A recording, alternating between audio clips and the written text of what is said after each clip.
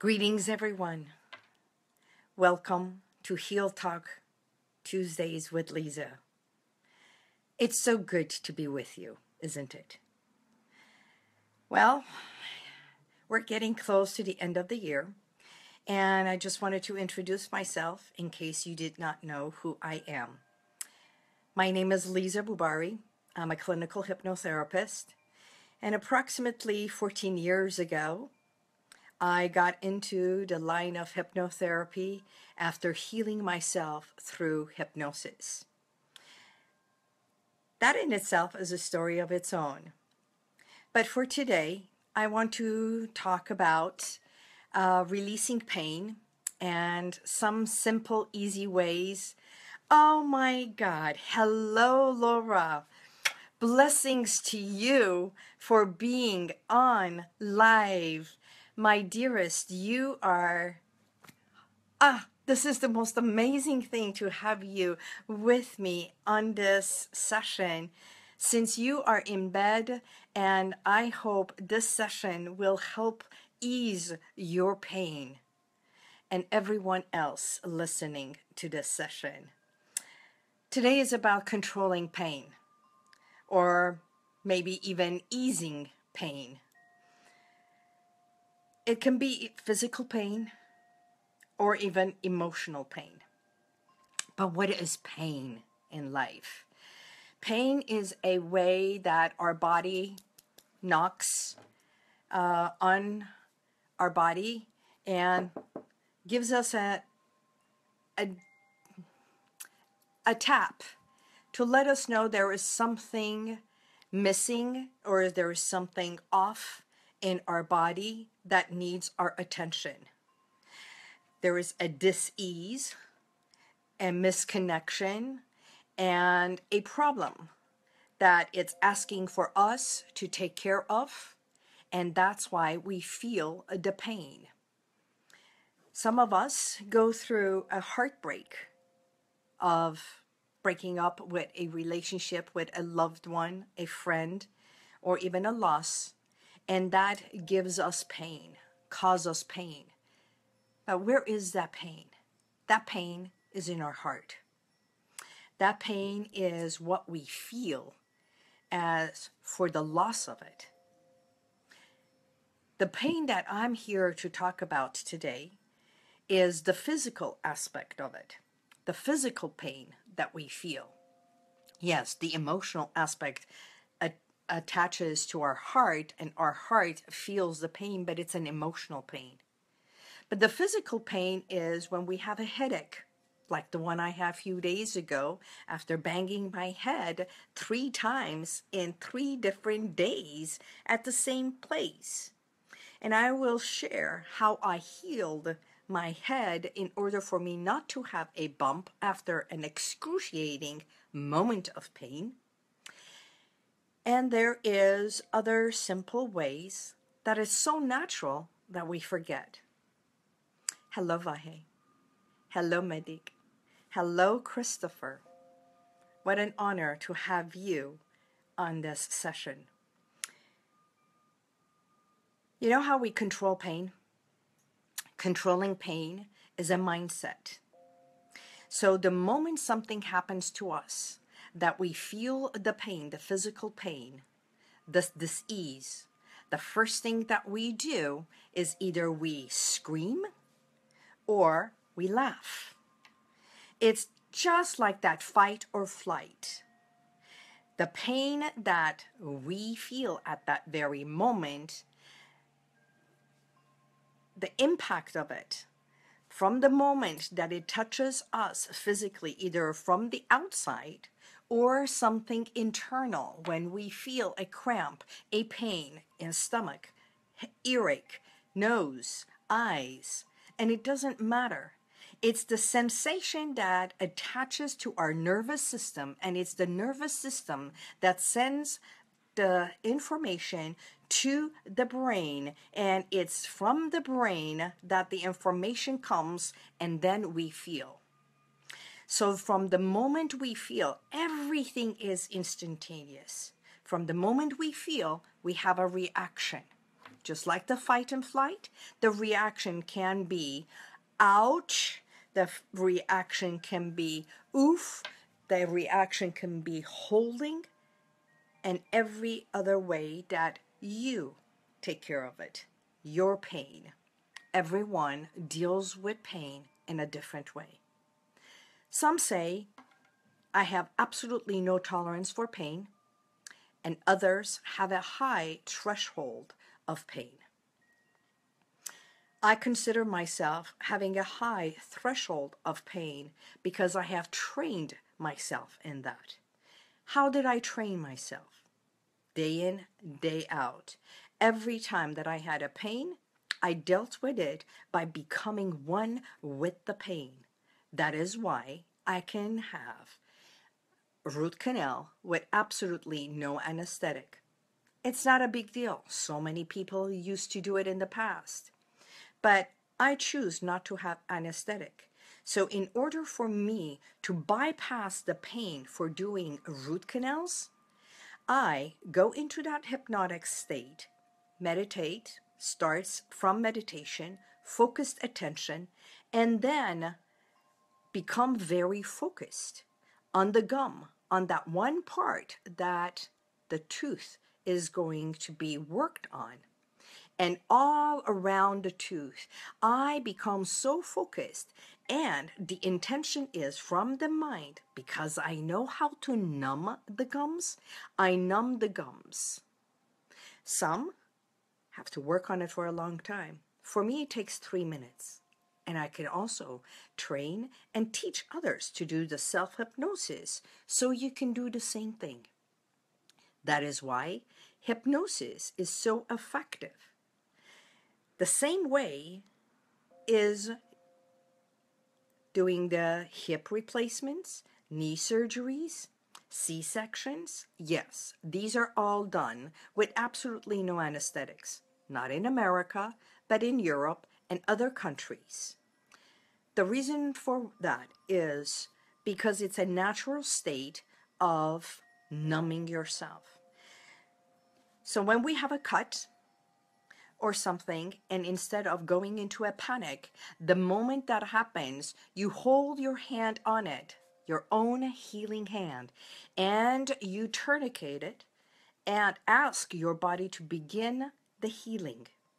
By focusing on it, you visualize the healing and send the healing intention to it. At the end of this session, I will give you techniques, even do a very short hypnotic state of hypnosis, a guided visualization. So if there is any pain that you are feeling at this very day, you can with my guidance, release and overcome the pain. And it doesn't matter if it is your liver, perhaps there is anger, if it is your hand, if there is pain in there that travels, it's probably something that you cannot handle because, believe it or not, there is a connection of the mind and of the body. So when the body has a pain, there is a nerve and an emotional connection to that part of the body. When I work with my clients, it's not only releasing and overcoming and having you control pain, but first and foremost is understanding where your pain is. When did it start? How long have you had it? Or perhaps, how long have you been keeping that pain? Why did it come? Because things you know for a fact do not happen to us, but for us. Now, you know how some women say, My husband has no tolerance for pain and they moan and groan all the time and they're such a baby during that? Well, guess what? It's not that they are such a baby, because we're all a baby. Some of us have learned not to talk about what we feel or tolerate the pain in order for us not to cause discomfort for someone else. But when we are groaning and moaning, we go into our primitive moment like a child. A child that when they are in pain, or when they need food, or when they need comfort, and they need to be cuddled, when they start crying, what's the instinctive thing that a mother does? They hold on to the child and they hold on. They put the child over here and they go what? Mm-hmm. Mm-hmm.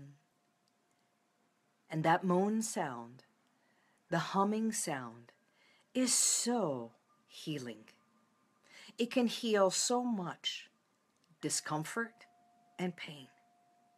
So when we are in pain, and we go um ah ah guess what that happens that in itself sends vibrations to all the nervous system. And that in itself sends trickles of vibration to all the nerve endings. That if there is a pain at the end of a certain part of your body that has a discomfort or disease, that um or hum, whatever it is, just like a child being comforted, it relaxes, it numbs, it eases the pain. It sends you to that primitive time of who you are, to the little girl, to the little boy being comforted. So when we hum either loud or very gently, we are easing our own pain. That's it. See, that is one of the unique ways, a natural way of numbing, healing, loving your body, loving yourself. And it's in a way saying to your body, I'm here. Relax. I'm with you. I'll take care of you. And we begin the humming. That's a part of meditation. That is when we pray. That's when we do the cantations, incantations over and over, over and over. We send ourselves into that meditative state. So that is why we say, when you are in pain, you close your eyes and visualize becoming one with the pain, just like the flame of a candle. When you visualize that candle, it's not that it's burning, but the essence of the light lights up and heals. Because a candle, a light, the ray of the sun, anything that warms, it's warming and healing the pain, easing the pain, either emotional, but more importantly, the physical. Hello, Mary Lou. I am happy to see you as well. And thank you so, as we go through that healing from the inside, we send vibrations to the point of where we need to heal. Either a pain in the finger, easing the pain in our head, because what is headache? It is feeling overwhelmed and throbbing sensations around our temple. And when you close your eyes, and breathe easily and gently. You breathe through that. And as you breathe, you realize that you can begin the healing sensation and send that vibration of um, um. And as you hum very gently, louder and a little bit louder. the throbbing sensation, the humming sensation. You overpower it. You become one.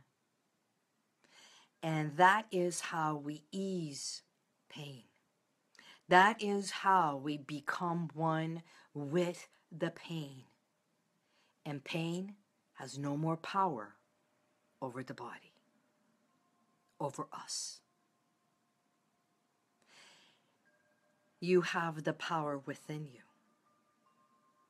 So every single day, as you practice becoming one and going through the pain, you realize that you can send that vibration of numbing, healing, loving gently and easily to the pain. Every part of our body is in direct correlation of an emotional impact. I had a client who came to me with so much pain in her body.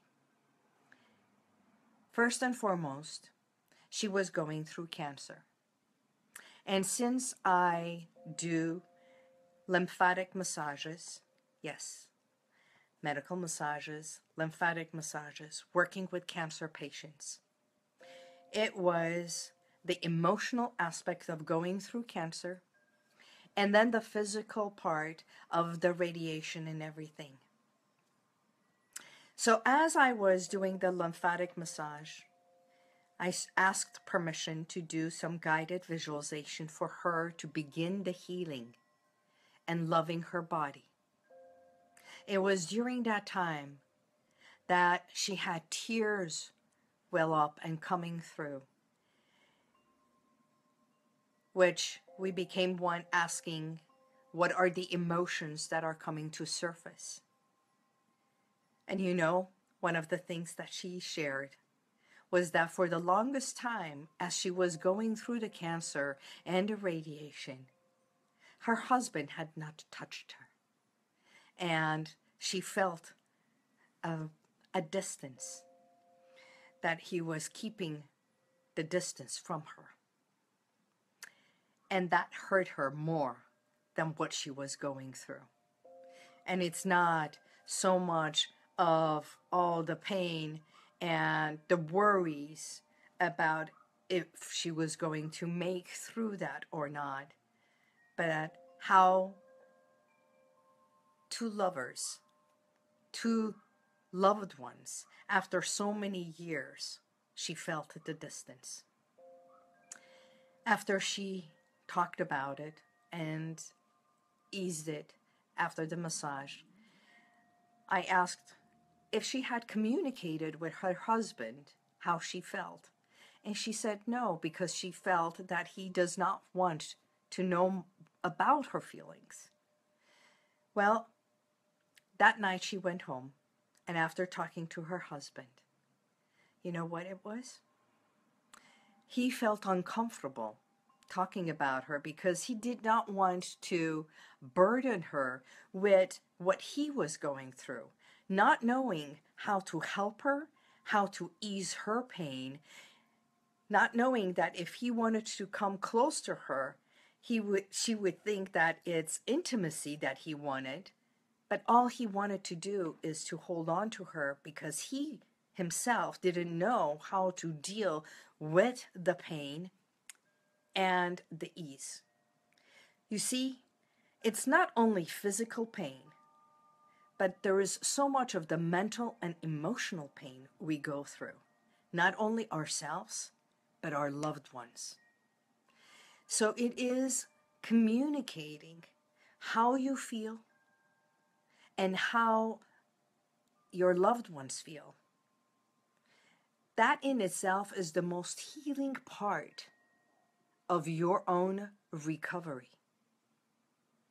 You're not adding more pain to your loved one, but when they feel that they can help you through and help ease your pain, is the most beneficial gift you give. That both of you can go through it together, even sitting next to one another. Holding hand, you know what that hand is? Touch. That touch, the end of each and every one of our fingers. That's why massage is so impactful. That's why when someone is going through massage, it's an honor to massage someone's body. When we go through all these places that, by golly, I'm not dissing any massage therapist or massage place because they're all there to help release and ease stress and discomfort. But I want you to know when you are getting a massage from someone, first and foremost, I believe it's an honor for me to massage someone. Because when I touch your body, your body is sacred. If I have anything that it's happening before I touch your body, I must leave all that there because the vibration of what I am feeling or healing must be away from sending it to you and giving it to your body. It's not for me to send it to your body. So, because touch, the nervous, also impacts your skin, your muscles, and your body. So, it is with love and honor that I must touch your body. Here is another way to heal and ease your body, yourself you hug, even very gently, massaging your tummy. It is the circle of life. When you do that, you're also easing the circle of the vibration around circling your life factor, easing the digestive factor of saying, I am worthy of living and the last thing, wouldn't it be great if you have a pet? You know, when you stroke a pet, you are sending and releasing through your stroke or when they are next to you. That stroke is meditative. That stroking is healing. It eases your pain and sends the vibration of you are there for me and it's so good because massage, stroking, loving, humming, everything you do, when you do it with the set of intention of loving and healing, you become your own hypnotherapist, easing your own pain, doing your own self hypnotic suggestions when you do it with intention. Incantations, humming, loving, vibrating, touching. That eases your own pain. Become one with it. Go through with it. And as you are listening to the sound of my voice, the sound of the gurgling inside your body in your tummy. As you realize I change the tone of my voice, that my voice becomes that sensation of vibration, vibrating, relaxing, healing, easing this very moment. Not only it can heal because it is sent with love. It is sent with the intention of asking God's light, the universe, and at this very moment, Become aware of the words you choose. And you choose the words that every day in every way. I feel better. I am healing. I thank my body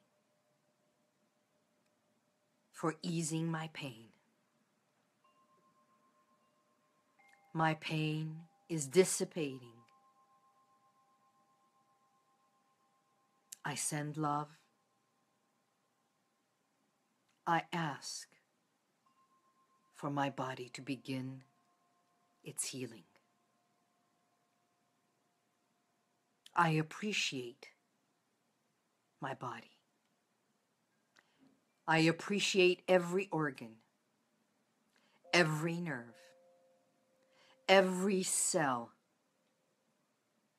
and I ask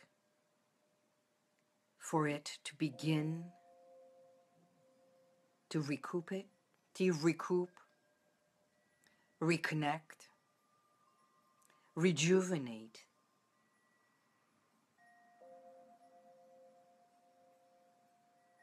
And as you become one with every part of who you are, Know the power in your words, in your thoughts, in your brain, because every single word becomes a part of your thought, and everything that you think becomes the part of a message. And I want you to know something. There are no deep rooted pain. It became deep rooted because you continued repeating that same thing, negative, over and over.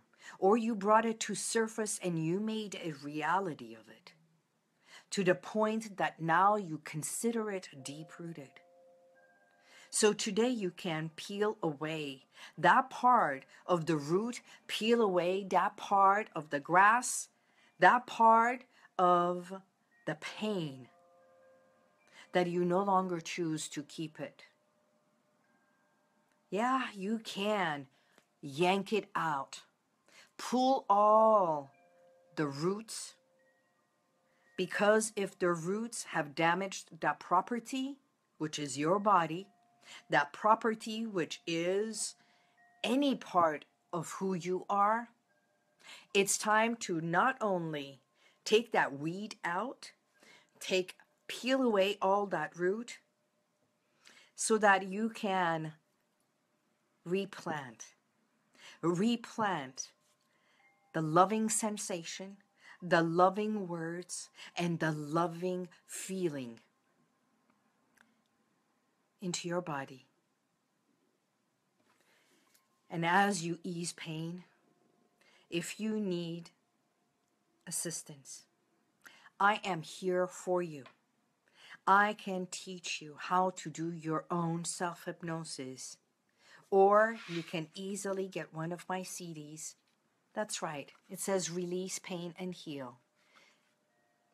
On my website. Download it and listen to it every day in every way until you realize that you can do this on your own. If I can do it, if I can ease my pain of such excruciating headache by putting my hand on top of my head and close my, my eyes and ask from God's light the energy and healing to come into my hands and from my hands the vibration that comes through to every nerve and every muscle every part of my scalp and from all the nerves. Let it vibrate to every essence, from every single hair to my scalp, as if I am massaging my scalp. And it goes through all the way down to my temple, and from my temple all the way around my eyes and back to the back of my neck and then down to my neck. And I send light and healing. And that is exactly how it happened. That in 24 hours, not only the throbbing went away, that I could even cool and feel cold ice pack on my head, and the throbbing goes away, and absolutely no bump. Healing starts within. Heal within. It would be my honor to help you. How I healed myself. I can ease your pain and your loved ones.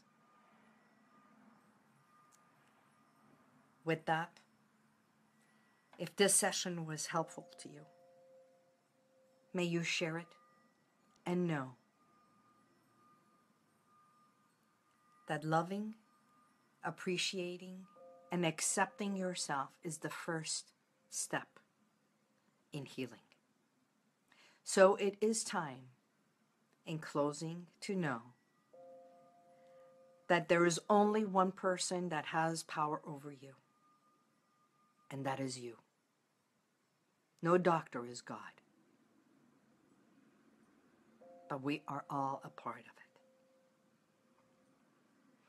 So evoke what was, embrace what is the reality, embrace the pain, and you can evolve to what will be. Healing and transforming. Until next session, I bid you I bid you goodbye. This is Liza from Heal Within.